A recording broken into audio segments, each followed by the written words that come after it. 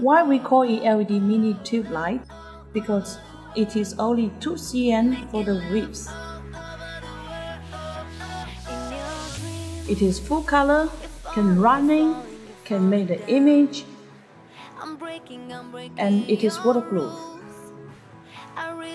What you see now is the clip for fixing the LED mini tube light. It is also aluminum. Easy for installation, slim and beautiful. Or we can use the long clip to hide the cable. And what you see now is the waterproof cable.